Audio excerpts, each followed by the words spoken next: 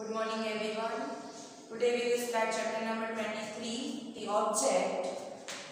अब ऑब्जेक्ट क्या है इसमें? तो सबसे पहले आप जो सेंटेंस स्ट्रक्चर बनाते हैं इसमें ऑब्जेक्ट है वो सबसे इम्पोर्टेंट है। इसका आपको यहाँ शॉर्ट फॉर्म में दिया गया है एस वी ओ ब्रैकेट में। एस का मीनिंग होता है यहाँ पे सब्जेक्ट सब्जेक्ट का मीनिंग क्या है? सब्जेक्ट किसको कहते हैं? तो जो पर्सन ये एक्शन कोई भी एक्शन करते हैं उसको कहते हैं यहाँ पे सब्जेक्ट सब्जेक्ट हमारे सेंटेंस में स्टार्टिंग में लिखा जाता है जैसे कि आई लर्न इंग्लिश ओके तो यहाँ पे ये आई तो फ़र्स्ट पर्सन यहाँ पे ये जो एक्शन कौन करता है तो फ़र्स्ट पर्सन यानी कि मैं तो सभी जो भी यहाँ पे सेंटेंस के फॉर्म में एक्शन करता है उसको कहते हैं सब्जेक्ट आई की जगह हम यूज़ कर सकते हैं we you they he she it ये सभी प्रोनाउन के फॉर्म में स्टार्टिंग में यूज़ करते हैं तो उसे कहते हैं हम सब्जेक्ट कई कई बार आई के इंस्टेड ऑफ़ हमें यूज़ नहीं करना होता है जैसे कि रीटा या फिर वी के इंस्टेड ऑफ़ हम यूज़ करते हैं the children Ram and Shyam.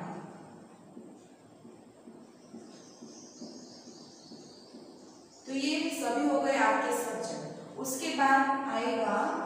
Word उसे कहते हैं वी यहाँ आपको शॉर्ट फॉर्म में दिया गया है एस वी एन ओ तो एस का मीनिंग है सब्जेक्ट वी यानी कि वर्ब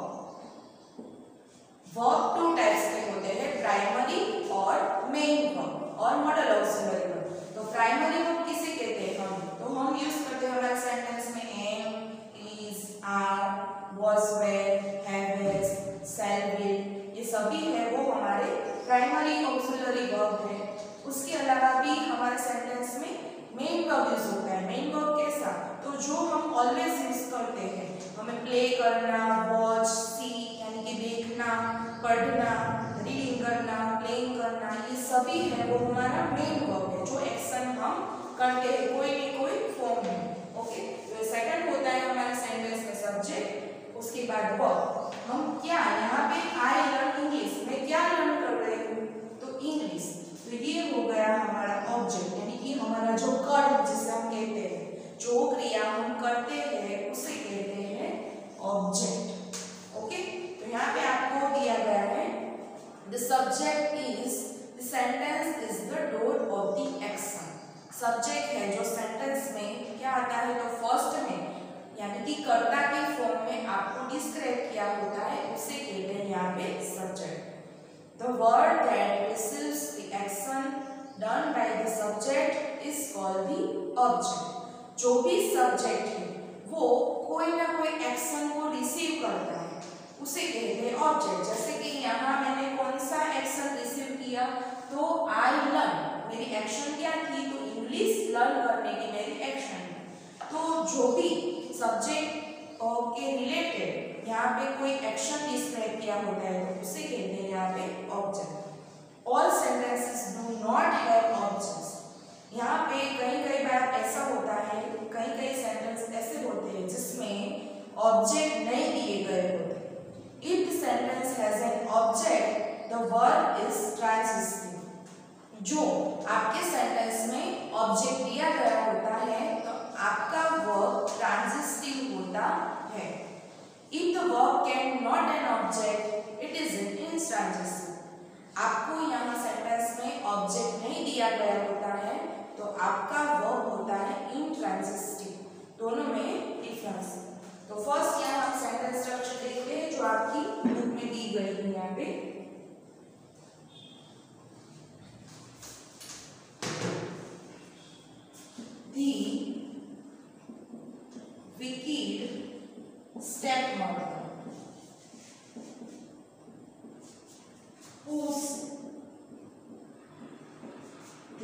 princess princesses आपको यहाँ कहा गया है दी विकिड विकिड यानी कि पापी कोई दुष्ट व्यक्ति की बात की है the wicked stepmother pushed the princess तो विकिड स्टेप मदर ने क्या किया? प्रिंसेस को पुश किया, यानी दिया। तो फ़र्स्ट आपको इसमें रिकॉग्नाइज करना है कि सब्जेक्ट कौन सा? तो पूरा ये आपका सब्जेक्ट है दी विकेट स्टेप मध्य इस चैप्टर में आपको तीनों जो हमारे फॉर्म है, वो पता होने चाहिए इसका सब्जेक्ट कौन सा वर्ब कौन सा और ऑब्जेक्ट नीचे आपको जो टेबल दिया गया है, उसमें आपको अलग अलग टेबल में फाइंड करना है कि कौन सा सब्जेक्ट है वर्ब है और ऑब्जेक्ट है, वो सेंटेंस में से आपको लिखना है। पुश यानी कि धक्का देना तो ये हो गई उसकी एक्शन तो इसको कहते हैं हम वर्ब किसको? तो किसको दिया? प्रिंसेस को. तो प्रिंसेस हो गई यहाँ पे ऑब्जेक्ट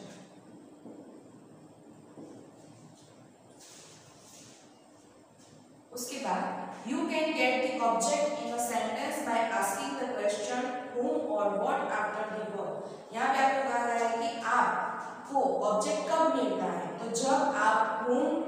या फिर से क्वेश्चन करते हैं तो उसके आंसर में आपको और ये जो ऑब्जेक्ट है, वो मिलता है। फोर्थ सेंटेंस स्ट्रक्चर जो आपने अभी देखी sentence which has subject plus verb plus object is said to have the SVO structure यहाँ पे आपको कहा गया है कि जो आप सब्जेक्ट वर्ब और ऑब्जेक्ट लिखते हैं उससे हम कहते हैं एसवीओ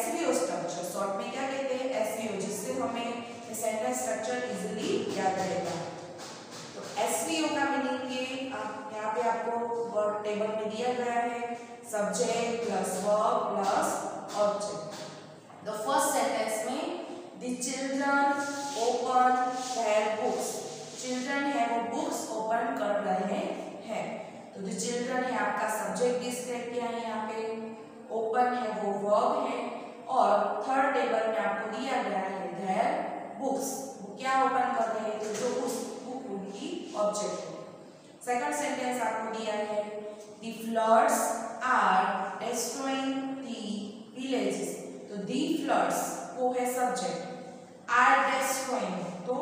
आर है वो आपका प्राइमरी ऑक्सिलरी वर्ब है और डिस्ट्रॉइंग वो आपका मेन वर्ब है तो आर डिस्ट्रॉइंग किसको उन्होंने फ्लड की वजह से क्या डिस्ट्रॉय हुआ तो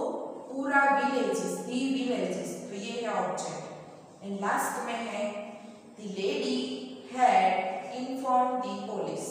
तो first lady subject had form तो वो है, उसमें हैड है, वो है आपका प्राइमरी ऑक्सिलरी और सेकंड है मेन वर्ब इन्फॉर्म तो उसका यहाँ पे इन्फॉर्म हो जाता है, क्योंकि ये प्रेजेंट पास्ट परफेक्ट टेंस का सेंटेंस है। द पुलिस किसको इन्फॉर्म किया था? दी पुलिस हो गई हो गया आपका ऑब्जेक्ट इसमें आपको ये जो थ्री फॉर्म है उसके रिलेटेड आपको एक्सरसाइज दी गई, जिसको आपको टेबल में डिफाइन करके अलग अलग आपको डिस्प्ले करना है। तो एक्सरसाइज की नोटिस इंस्ट्रक्शन यहाँ पे rewrite the following sentences in the column below dividing them to subject, verb and object. यहाँ आपको कॉलम दी गई है नीचे, उसमें आपको डिवाइड करना है कि कौन सा सब्जेक्ट है वर्ब कौन सा है और ऑब्जेक्ट कौन सा है। तो फ़र्स्ट सेंटेंस से हम देखते हैं और यहाँ पे आपको लिखना भी है साथ में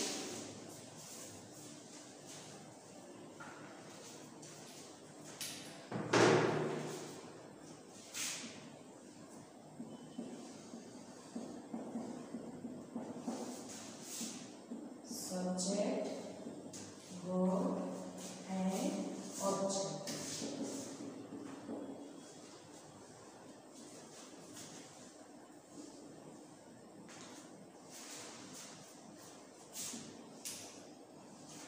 first sentence है The cat licked its paw. तो किसकी बात की गई यहाँ पे इस सेंटेंस में इसकी कौन करता है? मेन पर्सन कौन है? यहाँ पे गेट गेट सब्जेक्ट क्या एक्शन करते हैं?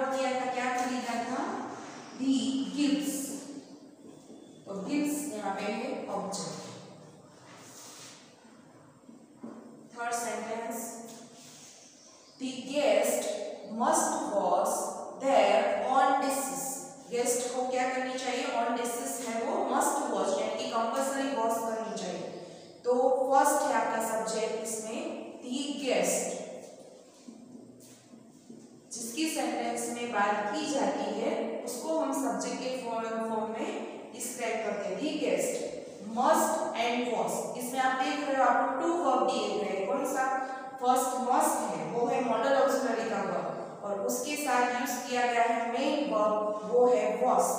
तो वर्ब लिखना है आपको must wash object there on this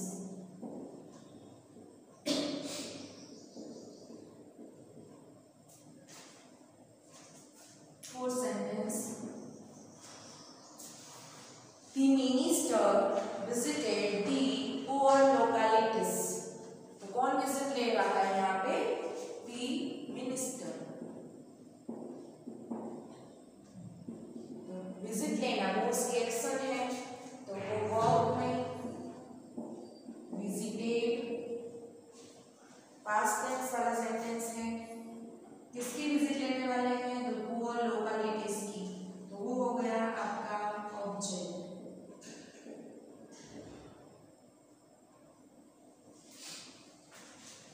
next है someone made a speech. तो someone, यानी कोई ऐसा पर्सन है जिसने मेड की है बनाई है a speech ये जो स्पीच है जो हम बोलते हैं उसे क्या कहते हैं जब भी फ़ंक्शन कैसा होता है उसमें हम स्पीच रेडी करते हैं उसको कहते हैं स्पीच someone हो गया यहाँ पे सब्जेक्ट इसमें पर्सन का नेम नहीं दिया गया लेकिन कोई ऐसा पर्सन है, इसके लिए यूज़ किया गया है someone made a speech. तो मेड यहाँ पे मेड का क्या है? पास्ट टेंस हो जाता है मेड और ऑब्जेक्ट है आपकी speech six sentence the boys were playing football boys है वो फुटबॉल खेल रहे हैं। तो फ़र्स्ट सब्जेक्ट है यहाँ पे दी बॉयज़ इसमें भी टू वर्ब दिए गए हैं यहाँ पे। जो टू बी का पास्ट टेंस का है वो वॉज़ या फिर वेट यहाँ बॉयज़ है, इसके लिए वेर यूज़ किया है। तो वो हो गया प्राइमरी ऑक्सिलरी एंड प्ले उसके साथ आईएनजी तो ये कंटिन्यूअस पास्ट टेंस का सेंटेंस हो गया तो वेर प्लेइंग वो है वर्ब और फुटबॉल है इसमें object the boys were playing were playing for last क्या प्ले कर रहे हैं? तो football object